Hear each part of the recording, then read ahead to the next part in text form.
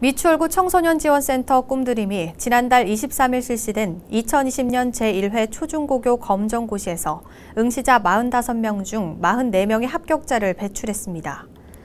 올해는 코로나19로 대면 학습이 어려워지자 미추홀구 청소년지원센터 선배 졸업생들이 기출 문제 앱을 개발해 멘토가 만든 과목별 영상 강의를 배포했습니다.